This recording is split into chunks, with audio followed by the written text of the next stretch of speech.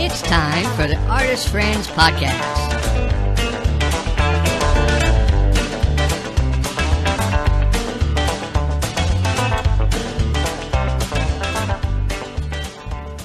Hi, I'm Diane Hunt. I am an impressionist realist painter connecting with nature through my brush. I work in oil paint and watercolor, and I live in the countryside of Maryland's eastern shore, not far from the Chesapeake Bay. You can find me online at dianehuntstudio.com and on Facebook and Instagram at Diane Hunt Studio. Hi, I'm Constance Brosnan of Steve Brosnan's Jewelry Designs. I live in Oklahoma on a prairie and I make uh, handmade jewelry in silver, copper, and brass. I'm an artist that paints.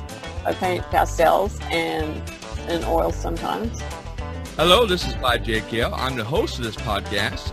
I am a emerging representational artist. I do historic rend- renderings, seascapes, landscapes, botanicals, birds, and whatnot. Tight illustrative hand in watercolor, and ink, and acrylic paints. And I live in Oklahoma City.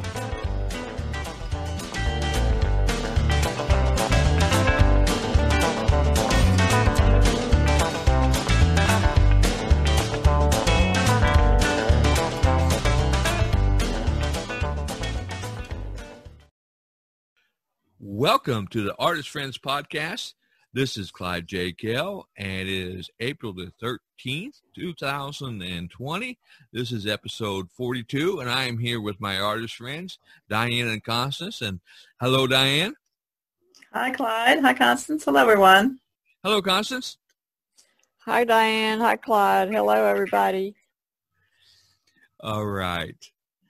Another week has gone by, and we are still in lockup, quarantine, self-storage, whatever you want to call it. And as uh, part of the conversation from last week, Constance brought up a very interesting point. I thought we might explore with this episode. As artists, we normally are work in solitude in our studios. So being locked up or self-quarantine is not a major thing. However, as Constance pointed out, when you are ordered to do that and when you aren't free to go out, it has a different psychological effect on you.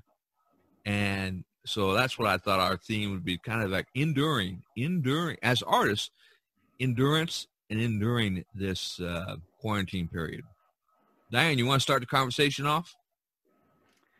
Um, yeah, I guess so. Um, a lot. I mean, in, in general, a lot hasn't changed for me as far as being home and working in my studio.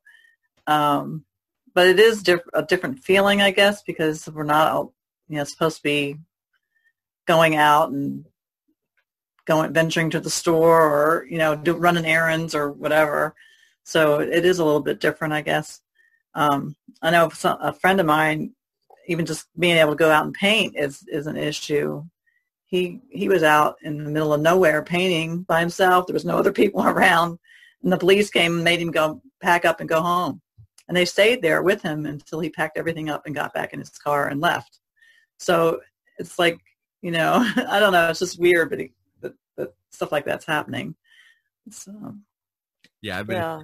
I've been hearing stories that uh, s- folks have been getting uh, tickets for just walking out in the Mhm. park, you know, and some cities, some cities have really cracked down and, and others haven't. But the thing about it is it's in New York or in the really hard hit areas. I can kind of understand that. But the stories that I'm hearing is like out in no man's land, you know, out in wide open country where they're, they're, they don't have the uh, pandemic as, as, uh, you know, as, as serious there. I guess part of it is because so, there's so many unknowns. So it's like you know, you they don't know like how it's really transmitted and how you know how contagious it is. I guess they know it's contagious, but a lot of it's kind of unknown, and they can't um, segregate people into saying, okay, if you live here, you, you, can you have to follow these rules, but if you live here, you don't. So right. it's kind of, they have to kind of give it to everybody at the same yeah time. i would think in the city that you would be more locked down than you would be out in the rural areas and i mean very rural you know living on a on a prairie out in the middle of nowhere Yeah, i mean yeah. I mean, But- yeah. i've you know in tulsa i've seen on television where they are going to the parks and handing out tickets for people who are doing not doing social distancing while they're out you know so they're that definitely understand. watching people that I can understand. yeah Uh, if you know a bunch of kids are playing basketball or or uh, people are sitting next, you know, together, and yes, that because uh, being out shouldn't be a problem as long as you know the next person's you know twenty feet away from you, you know, whatever. I don't Yeah, I guess maybe they the one police that you're talking about, Diane. Um, maybe he was afraid somebody would stop and start talking to him, so I, they made him pack up and go home. I guess, but it's kind of rough being a plein air painter, and Yeah, yeah, it's hard haven't to had it. It's been called here. I'm a fair weather plein air paint, plein air painter. I don't really like getting out when it's cold and nasty outside. but, um, you know, so um, yeah. it's uh it's hard if that's what you like to do and you want to go out and you can't it's Yeah. rough I mean, that's how he makes his living. So it's it's kind of like, well, I mean, there's a lot of people that are out of work right now because of you know they're not an essential, um, considered essential, so they're you know they're having to stay home and make do with things. But It's, even- it's a difficult situation to be in for sure. yeah Yeah. this at this point in time it kind of makes me glad i'm the age that i am because i i cannot uh I cannot real, realize myself how rough it must be to have like two or three children at home and trying to keep them entertained all day long in a in a nev- neighborhood. You know, when they're used to going out and playing, and they can't Yeah, unless they would- go out in the backyard and play. I mean, still, especially young children because they wouldn't really under, be able to understand why you know why I they, all of a sudden they can't do what they usually do. I right? about that the other day, you know, because uh, Easter time when I was growing up, you associate candy with Easter. Lots of Uh, candy. Easter egg hunting, you know, Easter but egg then hunting, and there, you know, and you I, turn the children loose on the park and let them hunt for, you know, Easter eggs, and you can't do that because they're the biggest little germ carriers there are. You know, and I was thinking, I'm just so glad I don't have little kids, you know, little children in the house, because I could just imagine uh, those kids after eating that candy. Oh my God. and you can't not give it to them because they they grow up expecting it. We all of us we all grew up that you know that way, expecting. Yeah. you know, that's when you get get candy on Easter and Halloween and you know those those- Christmas. Christmas time. And so those little tykes are probably were just coming off, pinging off the walls. They're gonna have to space out when they can have, you know, so much per per day. and on on Facebook, ah, it has been cracking me up. The pictures and everything. One guy posted posted a picture that I wish I had thought of this when my kids were little. It's perfect. He says, if you want to get a little peace time, a little bit of time for yourself, he says, especially if you have children that are like seven or eight years old, he says, you have them stand next to a wall and you put a five dollar bill and they got to hold the five dollar bill with their nose against the wall. And if they drop it, they don't get the money. But if they can hold it there for however long, they, and then you decide how long, you know, uh, then make them, you can go and sit down and rest for a little while while they're standing there next to that wall holding that five dollar bill with their nose. I know that's a brilliant idea. Yeah. yeah. Uh, I don't know. I, you know, that's to me. I don't know about bribing children to behave. I think that they're supposed to behave without having to bribe them, because then they get the idea it's okay to be bad unless they're bribed bribed to be good. You know? That's just like I don't agree with the you know with the government. You know. Uh, giving out money and uh, supporting businesses, but this is extraordinary times, and Yeah. yeah, yeah. So I think A I, lot of people are still going to lose it all in spite of you know what they're doing. I would still relax the rules about the kids, you know, and hey, bribe, if, especially if I oh if I had kids in the house, I would bribe them with anything to get them to quiet down, because unfortunately you can't go anywhere, you know. No, I mean there's you know other than the backyard, Yeah, you know, then they can't get too close to the fence if there's people on the other side. yep. You know, because you can still spread germs through the fence. Of course, this is the positive side, but I don't want to bring us down. But there is also a very serious element, and that's been discussed on uh, various podcasts and shows. That you know, there's the, uh, the mental issues, uh, there's the abuse, domestic abuse issues, and so I don't want to bring us down. But those that uh, this virus uh, is it's affecting affecting us affecting and changing our lives in more ways than I think they're really comprehended. It's going to take a while to sort everything out. You know, after uh, the all clear goes to where we can get back to a normal life, at least to get outside of our homes, walk around, we are still going to have other issues that, you know, It'll be a new normal, not the old normal. Yeah. Because things have changed so much. Because people are going to be looking for new jobs, and there's a lot of places are going to be closed because they, you know, couldn't weather the storm. Yep, absolutely. And you know, as artists, one thing that Diane just said earlier is, you know, plein air painters. You know, that's how they make their money and everything. one thing that I've noticed on the internet, the the artistic community has stepped up. Have you seen all of the various artist relief funds that are uh, being made available and grants and, and things? And you know, we've talked about before uh, in previous podcasts about obtaining grants to help fund our art practice, and sometimes it's really rather difficult. There's a lengthy process of application, and you have to follow in one category or another. But these kinds of grants that are coming that are being made available now, they have eliminated a lot of that. In fact, I've applied for two of them. I don't know if I'll get it, but very short applications. You know, what kind of art do you do? How long you been doing it? Where's your website? And what do you plan on using the money for? And that's it. Yeah. No other, Cool. no other. You know, oh, you got you know, you got to include an artist statement and a biography. You know, a short biography, but uh, you know, and they specifically state on the, the applications I've applied that uh, you can use some money for uh, whatever purpose to pay your rent, buy art supplies, buy food, handle medical bills. You know, it's specifically a uh, these are grants to to help artists. So uh, I encourage some of our listeners. I know we have quite a few artists and uh, listeners. Search the internet and go, you know, take advantage of these uh, grant opportunities.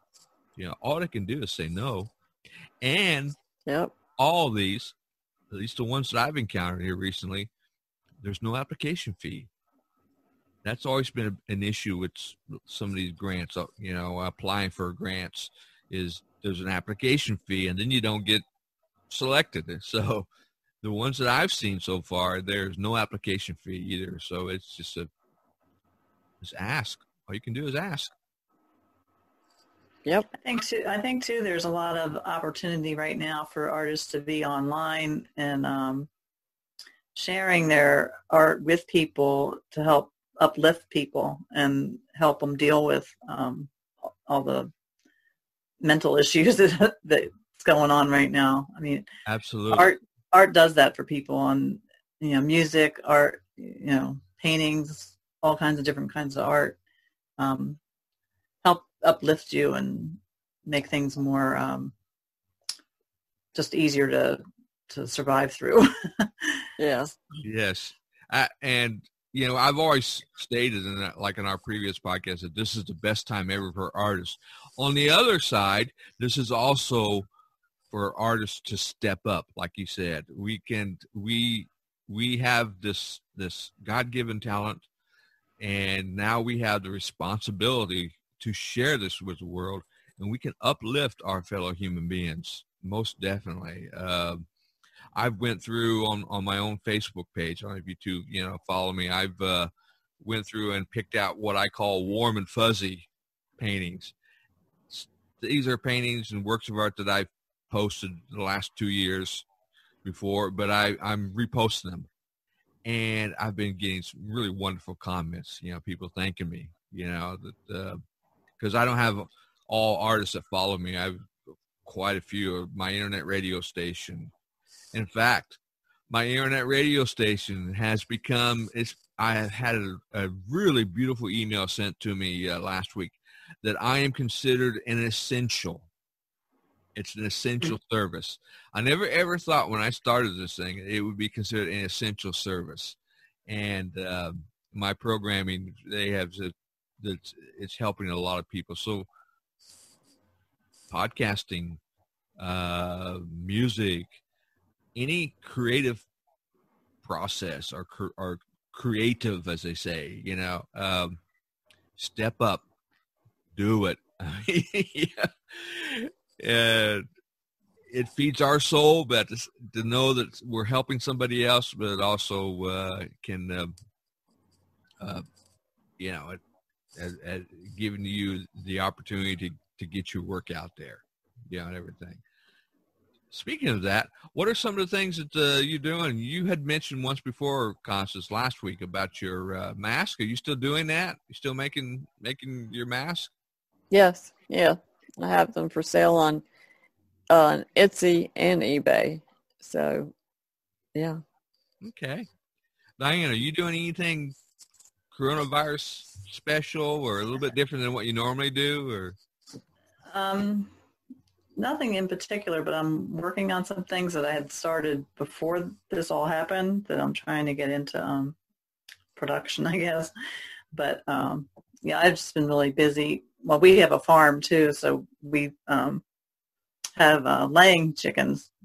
So I've been selling eggs like crazy. Um, we can't even keep them in stock, so that's a whole another side of things that yeah busy that it's i mean a lot of people are depending on you know supplying them with food right now so it's i guess that's coronavirus related yeah. but um not exactly my yeah. art but, but um yeah we even had somebody want a dozen guinea eggs to eat so you know but the incubator is full of chick full of eggs now getting ready to hatch out and we had one chick hatch out last night oh, and boy. then will came home with five five new, I think they're going to be Buffy girls. He said he didn't know what they were, but they're little yellow chicks.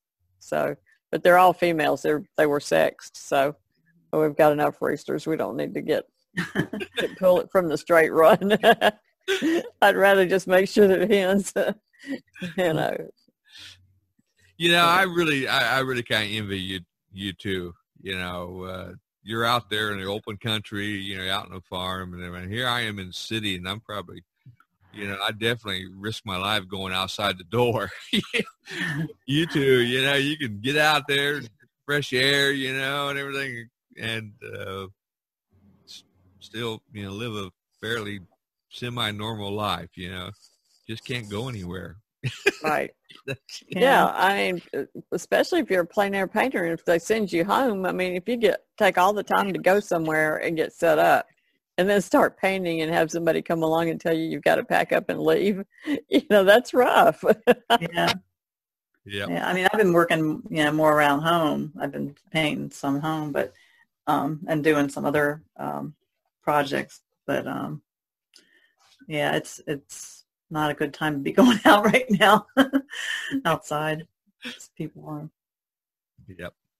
Yeah i've been rethinking not doing plein air you know because in school when I was, the teacher used to have us set up in a room and paint the doorway and then paint the whole premise of the painting was to paint what was on the other side of the door in the painting.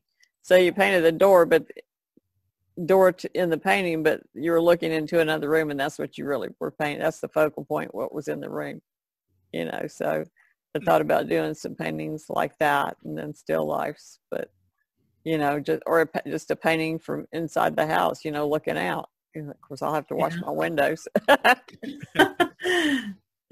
it's winter yeah. time. I have to wash the winter off my windows. Yeah, there's space out here where we are that I can go outside and, on our own property and paint. But I've, you know, I'm I'm still limited to what I can do as far as that goes.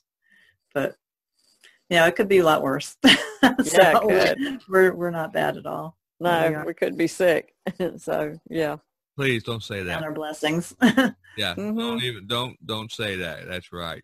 Count our. Yeah. so far, everybody in my family, as far as I know, as well.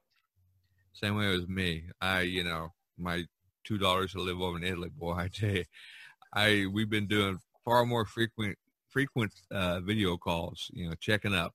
You know, and and those girls are so that I'm just so proud of them, and they're my strength. They are they are just so strong, and so uh, uh, with what's going on over there, and of course, you know, my oldest daughter had prematurely, you know, baby, my new grandson. He is coming along. For any of our listeners who are uh, familiar with that and have sent me, you know, ask for updates. Uh, he is uh, still in the hospital, and he probably will be there for another month but he is growing and he is uh, taking his mother's milk now. He's breathing on his own and just a bundle of joy. yeah, those are big milestones, you know, for a preemie too. Yeah, yeah. So uh, I frequently get pictures, and you know, my daughter doesn't like me to post them on Facebook, so we won't talk about that. I get gotta keep mama, mama. yeah. gotta st- keep mama happy. yeah. Well, I th- I think we're going to wrap this up. Uh, hey, we're, we are enduring, and uh, as artists, uh, psychologically, it uh, may get you know a little depressing. Just double down on your art. Uh, maybe take that online course that you've been putting off, you know, to help improve your craft. There are lots of artists that are doing that, are that are actually offering and they're sharing, you know, uh, videos with uh, and sharing their talents and everything. So uh, if you're one of those kind, yeah, do that. And if you're just you know a listener who enjoys art, you're not an artist yourself, but you enjoy and support artists, please feel free when you see an image on social media that you like, make a comment. You know, let that artist know that you are enjoying their work, and uh, that goes a long way psychologically. For at least I can speak for myself. Yeah, nobody yeah, likes hearing crickets all the time. yeah, and we're all basically self-employed people, so um, you know, and anytime you get any encouragement from anybody, it's really nice to hear and it's also nice if if people share our stuff to other people that might be you know interested mm-hmm. in what mm-hmm. we do or you know just help each other out Would i yeah. people who uh at least on, on my facebook page who uh they ask can i share this i said yeah sure i mean uh, it surprises me that they that they ask i mean i'm just delighted that they want to share it yeah well there's so many copyright laws they might be scared if they repost it that they might get in trouble mm. somehow. So, but yeah, some people like it and some people don't. So yeah, maybe. right. It's good to ask. But. Yeah, but yeah, I freely freely share because I put it. That's why I put it up there. You know, for for yeah, hopefully to inspire and uh, you know bring a little bit of like I always say, put a twinkle twinkle in their eye and a smile on their face. Then I've done my job.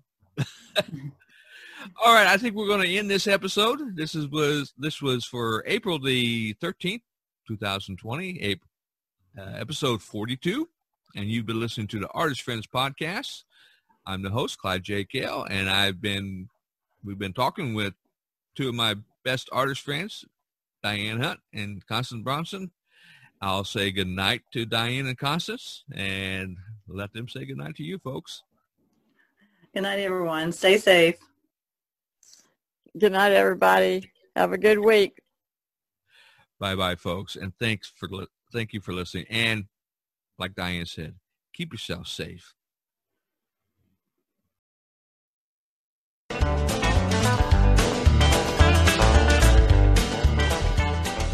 The Artist Friends podcast is produced and edited by Clyde J. Kell. Participating artists, Diane Hunt and Constance Brosnan, and Clyde J. Kell. You can find more information about Diane Hunt at www.dianehuntstudio.com. Constance Brosnan at www.etsy.com forward slash shop forward slash C-B-R-O-S-N-A-N-S. Clyde J. Kell at www.cjkallartworks.com. If you'd like to participate or appear as a guest on the Artist Friends podcast, please email cjkale at sign mystery-otr.com. That's cjkale at sign mystery-otr.com. This podcast is issued under the Creative Commons license. Thank you for listening.